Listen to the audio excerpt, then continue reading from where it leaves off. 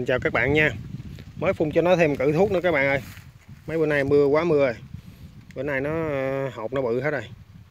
Này là còn cỡ vài ngày nữa là Mình tiến hành mình bao được đó các bạn.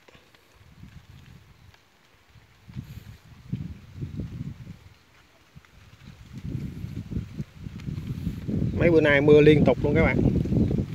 Mưa gì đâu mà hai ba ngày liên tục luôn. Rồi bữa nay mình phải phun cho nó gửi thuốc nữa. Thì ờ, đợt này mình cũng phun mấy cái thuốc ờ, cũ thôi mấy bạn ha thì cũng chia sẻ với mấy bạn là mình ờ, đợt này mình phun cái thằng cũng là cái thằng cabio top á với uh, đi than thêm bo canxi với thuốc sâu thì 1.9 EC hỏi quay cái thùng thuốc mất không? Thì mình thời xịt có nhiêu đó thuốc rồi cũng giống đợt rồi mình xịt thôi. Nhưng mà cái cabio top ấy thì đợt này mình uh, nâng lên. Mình xài à, uh, 40 gram. Tại vì mưa quá thì mình uh, nâng lên các bạn ơi à, nó cũng còn vết nè. Thì mình xịt cái này là phải cỡ một đợt hai đợt nữa đó. Một hai lần nữa thì nó bớt bớt, bớt mấy cái vết này nè. Rồi bắt đầu tiến hành là bao lại.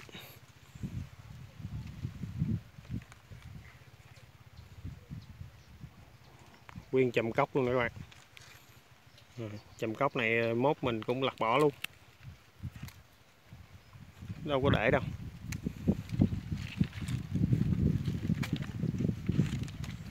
Mốt mình lặt bỏ ờ, mấy cái hàng cốc đó hết. Mình chừa mấy trái ờ, bự bự lại thôi bữa nay thì được vậy đó các bạn ơi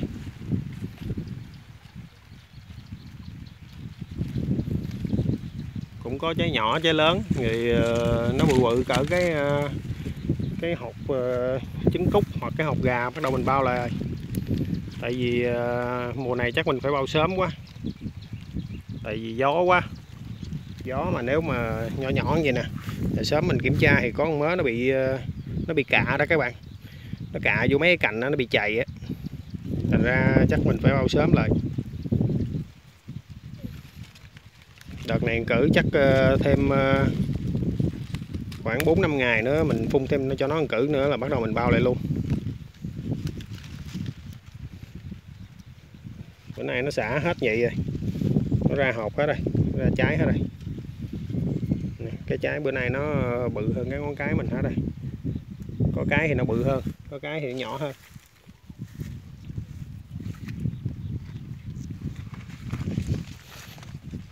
Bao sớm để không là nó nó cạ vô mấy cái cành đó các bạn. Rồi ờ, nó bị chày á. Thành ra đợt này ờ, các bạn nếu mà có trái nhỏ nhỏ giống gì thì ờ, cũng nên bao sớm lại ha.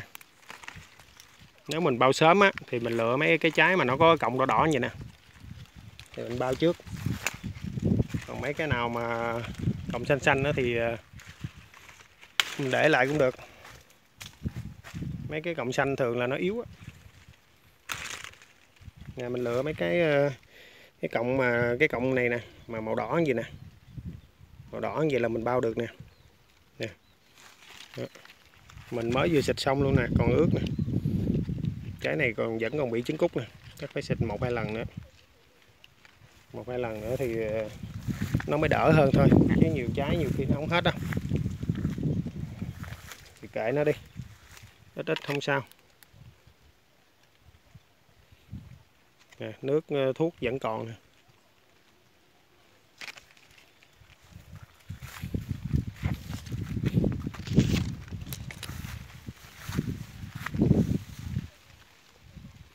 Ừ, còn vết đen. Rồi hôm nay xịt cử thuốc này chia sẻ với các bạn ha. Rồi ờ, đợt sau mình có ờ, phun thêm cử nào nữa thì mình chia sẻ tiếp ha các bạn. Chào tạm biệt các bạn nha.